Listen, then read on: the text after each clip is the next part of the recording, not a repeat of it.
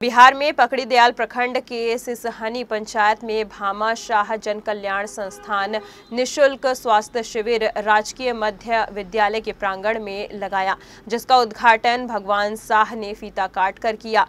इसमें मोतिहारी के बड़े बड़े अनुभवी डॉक्टरों के द्वारा गरीब मरीजों का जाँच निशुल्क हुआ और निशुल्क दवाइयाँ भी बांटी गई। यह कार्यक्रम विजय कुमार शाह की अध्यक्षता में संपन्न हुआ। संस्थान द्वारा ये जो सिसौनी पंचायत में जो आयोजन किए हैं हम लोग, इसमें सभी बीमारी का मुफ़्त चिकित्सा एवं मुफ़्त दवा का उपलब्ध है, सभी बीमारी का। बच्चा से लेकर बूढ़ा जवान सभी बीमारी का, डॉक्टर लोग आए और ये पंच, इस पंचायत में, सिसौनी पंचायत के अंतर्गत बहुत अच्छा भामाशाह जन कल्याण संस्थान के द्वारा बहुत ही अच्छा हम लोग कार्यक्रम कराकर गरीबों के जन कल्याण के लिए हम लोग ये एक कार्यक्रम शुरू किए। हम लोग का यही उद्देश्य है कि गरीबों को और निम्न तबका के लोगों को अच्छा इलाज और निःशुल्क सुविधा अच्छे डॉक्टरों के एक शिविर लगाकर उन लोग को रोग मुक्त